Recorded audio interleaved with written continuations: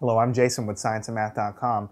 In this section, we're going to continue practicing simplifying fractions. And I'm spending a little more time on it because it is absolutely critically uh, essential material, essential skill for you to master. We're going to be doing it constantly all the time.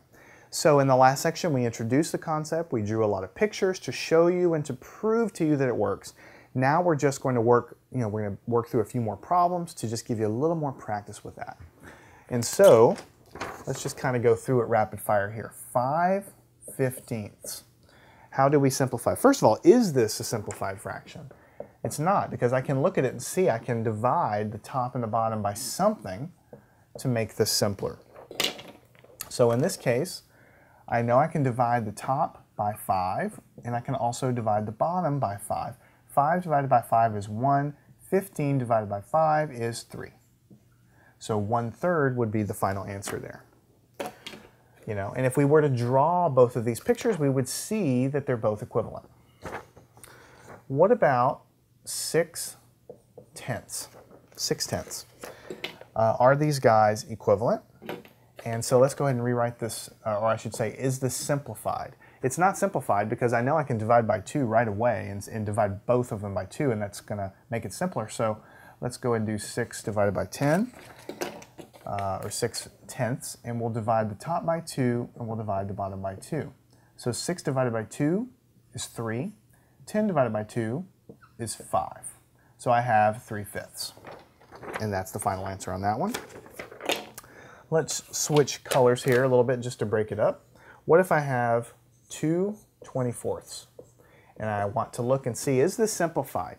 It's not simplified because I know I can divide top and bottom by 2 for sure. So I can say 2 24ths, and I can divide the top by 2 and the bottom by 2.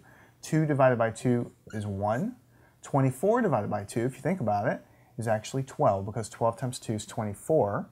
So the answer I get is 1 12th. Is 1 12. Let me go on to the clean board over here and we'll just work a couple of additional just to make sure you understand. What if I have 16 24ths? Is this simplified or not? And the answer is it's not simplified because I can tell right away. I can divide the top and bottom by at least the number 2 and make it simpler. So let's try to do that. 16 24ths. Let's divide the top and the bottom by 2 like this. And what am I going to get? 16 divided by 2 is going to give me 8. 24 divided by 2 is going to give me 12. So I think I'm done, but then I, I always have to go and check. Is this fully simplified still? I look at 8 twelfths and I can tell right away I can divide again by 2. So I'm scratching my head a little bit, but then I realize, okay, well, let me just go ahead and do that again. So let me start over here, or underneath a little bit, and say, all right, we'll do 8 twelfths.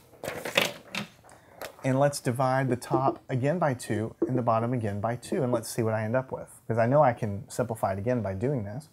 8 divided by 2 is 4. 12 divided by 2 is 6. And again, I think I'm done, but then I look at this again and I say, wait a minute, 4 sixths. I can divide by 2 again, okay? And still make this even simpler. So let's do that. Let's do 4 divided by 6, or 4 sixths. And what I want to try to do is divide the top by 2 and the bottom by 2. And what